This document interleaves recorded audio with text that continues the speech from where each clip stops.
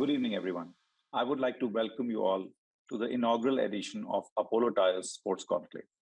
We have got together key stakeholders to discuss top three building blocks that are essential to becoming a sports playing nation community, technology, and know how. I'm Vivek Sethia, the founder and CEO of India on Track. Our first panel for the day is Building Communities Through Sport. So, Aditi, you've given so much to football. Football's given so much to you. How do you see community? I feel that football brings the community together. Otherwise, you know, and I've seen it firsthand. I've seen where when I started playing football, there weren't there were barely any any people who knew about football. And and to the time now where you know we are being covered by the mainstream media, we are being highlighted and covered on social media.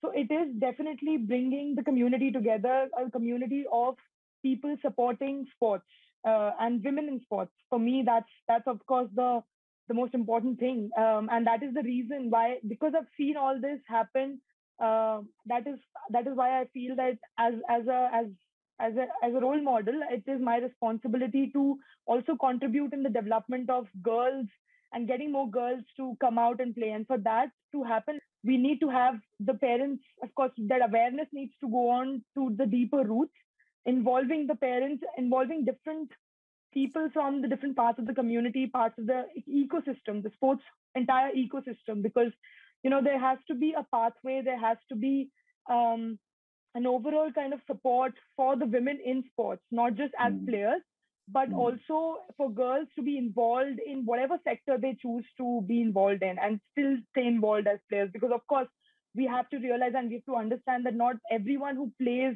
the sport can play at the top level. There there are a lot of other things that you learn from sports learn from football particularly um, that are very very important and uh, that can never be learned in the school and you know in, in the books from the books. So of course it it builds a community and uh, and the things that it can do and trans- how it transforms a person a girl especially for me a girl's personality what i've seen firsthand uh, is extremely you know motivating and encouraging and that's what keeps me pushing to keep working on this particular uh, you know direction and keep invo- getting more girls to come out and play how important is it for Apollo Tyres as an as an organization to build community, and what are some of the things you're doing around that?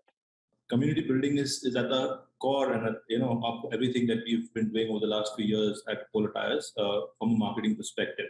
Um, over the last few years, we've seen you know, share of mind move to the concept of share of heart. And the one way you can actually build share of heart is by engaging with your community.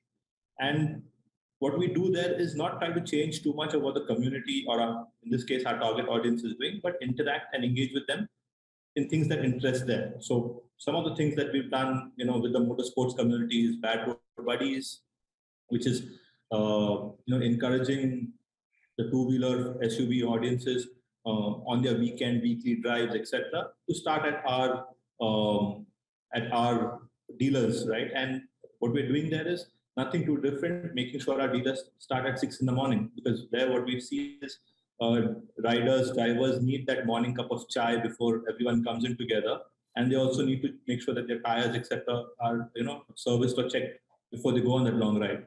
So what we're doing is just delivering that small service for them, and we've seen that community move to an Apollo premise over the last couple of years, where now rides uh, and drives are organically starting uh, at, at the Apollo premise. And similar on similar route has been taken with rural sports, where we've gone into rural markets, which are again key to Apollo, but helped and supported them in the sports that are growing in that area. Well, football is an important pillar for Apollo uh, in our, uh, journey, uh, but we've not really pushed that agenda in markets where, say, for example, kabaddi is big or volleyball is big. And back to where football is big and important for us, what we've done is our grassroots program with Man United. You know, we've built on that. United we play, and we've taken that to key markets and encouraged young footballers. So these are some of the things that we've done.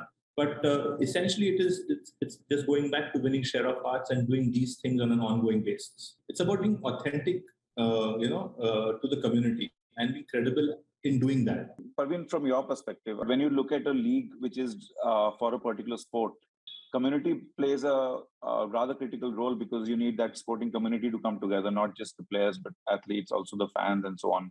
What is your view on this, and what are some of the things you are doing? Well, there's two aspects, of course, like Remus also mentioned. One is digital, and we've already built one of the largest digital uh, arm wrestling communities in the world.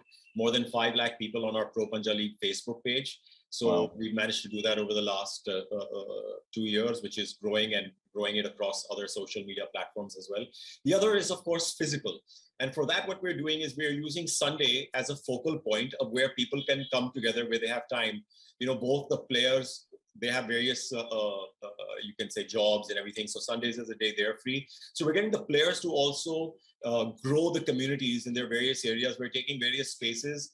We're putting uh, arm wrestling tables in various areas throughout the country. First looking at of course the regions like uh, north east you know, south and central where it's more popular and growing it from there we're putting tables in various places and we're getting the community to gather in these spaces well, I wouldn't say we're getting them, but we're giving them that opportunity to gather. It's it's almost like a magnet. It's like an oasis that we're giving uh, an arm wrestling table and various other facilities for them to come together, to chat, to uh, you know socialize and come together on this uh, arm wrestling table because we do see the arm wrestling table, the Panja table, as the biggest social tool because it is a great leveler.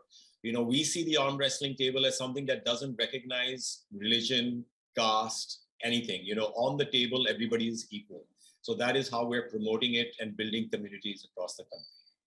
So, um, what are some of the guiding principles for you when you look at uh, success, or how do you define success, or what were the principles uh, that you used while you were creating this the communities? First of all, brilliant question. Uh, the idea that we usually approach sports with when we are working with a, and in my instance, we work extensively with slum communities is that you're not going with a solution to a problem. You're offering a venue for the participants, for the players to come out and enjoy. So this mindset is one of the key uh, things that you go in with an approach that you're not providing a solution. This is just a uh, just a platform. Uh, then considering the problems or the issues that that uh, uh, that community may face in our cases most of the time there's a lack of open space lack of safe spaces. If you are going to build a program near a community that is underprivileged, you need to also consider that there is a lack of mobility. The children there cannot travel for more than couple of kilometers. And that too, when you are selecting venues for uh, tryouts or uh, regular practices, they can't be outside, let's say a periphery. We choose to be two kilometers because then that would mean additional financial mm-hmm. burden on the children also mm-hmm. lack of uh, uh, lack of resources on parts of parents to actually allocate time and energy to bringing and dropping the child uh, these are some of the issues that we uh, have to consider when we decide to work in a community and apart like again, as I say, that for us, the participation matters, not the sporting mm-hmm. impact of what we do. Uh, we, however, uh, uh, like uh, work alongside with several clubs who would then happily pick up our good players and then they get a chance to keep going. So this pathway, uh, if we consider uh, ourselves at a place, we consider us at the base, and then mm-hmm. that helps us to channelize the right participants upwards. Mm-hmm. I think just in interest of time, we'll have to end here. So thanks everyone. Thank you again for the great uh, session, great inputs, and good luck all of you guys for for your endeavors. And I'll see you see you all soon.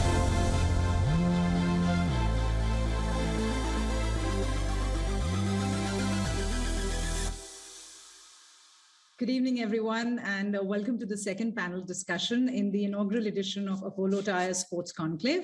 I'm Rashim Sharma. I'm a co-founder and I'm the Chief Marketing Officer at India on Track. Um, and in this uh, particular panel, panel discussion, we're actually going to talk about the emergence of the digital playground. So as a rights holder in India, uh, what are the processes uh, you know what has been your process of adapting your strategy uh, to to the digital landscape and engaging with your consumers? Um, Dhiraj, uh, um, so i think what the digital space has allowed uh, is uh, for you know rights holders and for teams like yourselves to actually not just take it to a localized audience but actually try and not just uh, make it global you know get into different countries different kinds of consumers because there are consumers of the product all over the globe now. Absolutely yeah. And that's what we saw. I mean three years back, our focus was only on in-stadia experience. In uh, you know, even even when our sponsors came, there first thing was meet and greet with the players. How do you associate on the ground? How do you do stuff when you're physically present? None of us ever imagined or even thought of a world where there would be no fans or a world where, uh, you know, especially cricket and of IPL and even international have fans in the stadium or even what what the pandemic did was as, as I said all our digital approach changed completely. Uh, we were lucky a few i mean a few in 2020 we had a nepali player. So we used we used, that's what we, as you said we built a really strong fan base in nepal. Through our digital reach we became stronger there. And it, it the last two years the complete focus and shift has been on uh, how do we access and get fans more involved with the team as well as with the sport as well as with I mean, during our IPL matches, but digitally. That that's I've seen that that's grown a lot. Uh, that's why all these platforms suddenly have taken a lot of prominence. Um, I mean, Akshay, thank you. He's one of our sponsors. He himself knows how we're trying really hard to, you know, get get sponsors as well as the fans involved, even while they're not there. And that's only happening because of the whole digital playground that that we have access to. Akshat, I wanted to actually understand from you because uh, you're creating products that are uh, targeted to consumers uh, very specifically in the digital space. Uh, and I've read, you know, articles where you've spoken about how education um, can really benefit from uh, this kind of a revolution that's happened in the digital space. So, um, you know, give us a sense, share some of the insights that you have on consumer behavior that has helped you improve uh, your product and, and what you offer to the students out there. Sure, it's a great question. What we are seeing is uh, a lot of these technologies existed even before the pandemic while edtech definitely got a lot of tailwinds, the technologies like AR, VR, adaptive learning, personalized learning, self assessment, all of these were already there. Post COVID, they've come into the mainstream. And as a result, today, you're able to track each individual learner performance. For example, if I was a faculty member and there are 40 or 60 students in a class, it was very difficult for me to know who's learned or understood what particular concept. Today, with technology, we are able to exactly pinpoint what is the learning, what is the skill set of each learner, and go back to the faculty to say, out of 40 students, these five have not really understood what you were teaching. We've got technology like eyeball tracking. You know, till about a year ago, it was unheard of. Or could you have exams like GMAT, SAT sitting at home? And Today, those are also happening online. The other big thing we are seeing, the change in learner behavior is they also want gamification of learning. Nobody wants, uh, a, you know, that you're re- uh, repeating a physical classroom online. You can do so much more with AR, VR, Meta coming in, the way you can engage, how you gamify content, how you break people into teams the learning is not is not just limited to a learner anymore. By making people in groups, they could be sitting across, you know, they could be anywhere in the world, but you are one team. Learn to work together, and with a different layer of gamification coming in, it just becomes a lot more fun. You know, earlier, what was your incentive or disincentive in teaching? You do well, you get marks. You don't do well, you'll get low marks and a scolding. So so rather than doing low marks and scolding as a disincentive, you've suddenly taken that and said, here, you're good at this. And, and you gamify and you make fun of it. You know, imagine you're playing Mario. Whoever gets the question right, here you get a star in Mario and you go ahead. Or you can, simple things like that. So which are positive reinforcement. I think that to me is the biggest change. Today, you don't need negative reinforcement. And you have a great blend of different technologies. I think India, to me, is what I look at the Goldie, uh, Goldilocks zone. Even before COVID, we had Jio, 4G, all of these were already there. And most people had a smartphone in their hand. Your internet speeds are ever increasing. And suddenly, with COVID coming in, you've had a explosion of connected devices, which has you know, whether it's learning, it's how you consume TV, how you engage. It's just um, all rolled into one. So we are at that very perfect, that Goldilocks stage for us, and we can leapfrog many generations. And I think when you talk about edtech or education, I think India has an opportunity to be the edtech capital of the world. Akshat, uh, I know you're sitting on that gaming chair. We've set the perfect, uh, perfect frame for that. I actually want you to weigh in on, on this as well because there's a lot of research and understanding that uh, you obviously um, have of the consumer in the digital space. What are they looking for? And you know, what what do you what kind of insight can you throw on on the consumer that is in the digital space right now, consuming these products? So I've often gone and said something as simple as uh, habits don't change over over generations, right? And I, and it's been one of my go-to comments. Uh, my grandmother, uh, she's alive. Uh, she tells me that her biggest problem with my mother was she was on the phone all the time. My mother had the same problem with me. I was on the phone all the time. I have the same problem with my daughter. She's on the phone all the time. Right? Think about it, and it's it's it's such a it's a profound statement that that comes out of it, right? Yes, the phone had a wire and, and it was and there was two three phones connected to one line in different parts of the house my phone i had a problem because i was using it for dial-up internet at that time and my daughter's got her own phone at seven years old to go ahead and play phone watch but the fundamental habit of what i call interactive entertainment the phone versus a television, the old landline phone with a wire was interactive entertainment, right? You were talking to someone else live and having a conversation with it.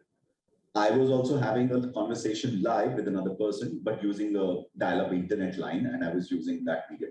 And now my daughter is playing Roblox or, or Minecraft with someone else live. And entertainment over times has constantly been on an evolution of being interactive. And it's it's this holy grail it keeps on trying to tend towards. Uh, that's why Netflix is now going and saying, "Hey, we are going to do Bandersnatch and Black and, and other movie, uh, other shows that will be like games." Then Netflix has now gone and said also that the biggest competitor to Netflix is Fortnite, because what you're competing with is the six hours that people have to spend a day on entertainment.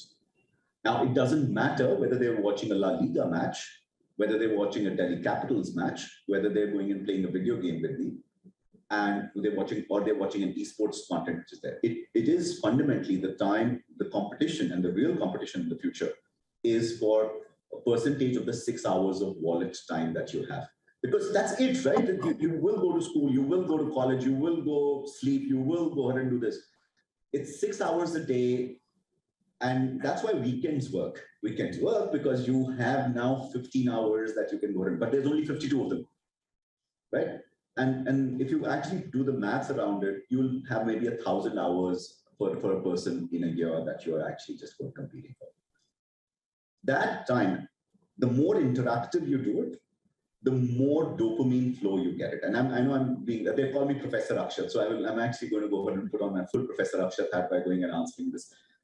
That is a dopamine flow. The dopamine flow is when you watch your team win, you get a hit of adrenaline and dopamine, which is that. And you want to go ahead and swipe up an Instagram story or a reel, uh, which is uh, you are getting a dopamine hit. Constantly interactive entertainment will try to go ahead and do this. And unless we as content creators and IP creators and, and value creators in the ecosystem don't go ahead and address our fans who are constantly trying, who are on this gravy train of interactive entertainment, we will be left behind all the time. Jose, I'm, you know, like any other industry, uh, when it sees this sort of meteoric rise, there are always going to be advantages, uh, but there are also going to be pitfalls. You know, it's such a rapidly changing uh, and evolving platform um, that while it's exciting, um, it's also something of a bit of a minefield. You've got to be careful because your gratification is very instant, but the brickbats are also extremely instant. So, um, you know, what do you see as sort of the advantages? Uh, maybe a couple of big ones, and uh, probably the biggest pitfall uh, in this sort of very, very rapid rise of the platform.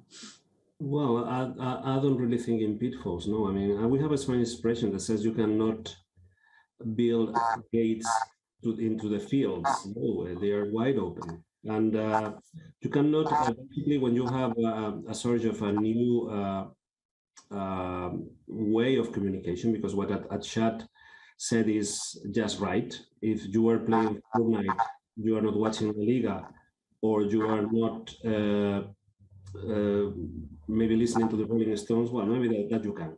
Uh, but are we are all competing sort of for that space. Uh, but this is this is going to grow. Uh, so you have two two alternatives. Basically, if you uh, go to a strategic matrix, is either you try to lock yourself in the castle and defend yourself of this new wave, or you take uh, your surfboard uh, and go and and surf the wave. That's what we are doing. Of course, of course, maybe Fortnite is not that useful for us, but Electronic Arts FIFA it is, and it's a new way of communicating uh, to our fans. It's a new way of uh, of bringing new fans to the game. No, and and I was listening uh, this, all, all these interesting things. And at the end, at the end, football and cricket, it's been always an interactive thing, an engaging thing, even when we didn't use words. Because even today, when you go to the stadium, you're not going there like opera to sit and enjoy and judge what you see. You're going to participate. You're going to help your team winning. No, so uh, it, the interactive part is being is a natural part of uh, of big big sports. No, so we are trying to ride the the wave. Uh, we are betting de- uh, definitely in esports. We are organizing in Spain the biggest ES, uh, esports uh, foot around FIFA, no uh, tournament, and Akshay, you can forgive me. We are preparing together with HeroVired uh, big news on esports that uh, will announce it next Tuesday. No, so um, it's uh, and this means that it's not all alone. No, it's about the fans. It's about the league itself, but it's about our partners. No, and working all together. And I think we all need to uh, learn to how to surf this wave. Even those of us who come from a non-so digital tradition. Absolutely. I, I think uh, you've really put it very well, all of you gentlemen. Thank you so much. This has been a really fun conversation. Um, um, so I'm not going to take uh, any more time from anybody else. Uh, thank you very much for joining us today uh, and sharing your thoughts on this. Thank you very much.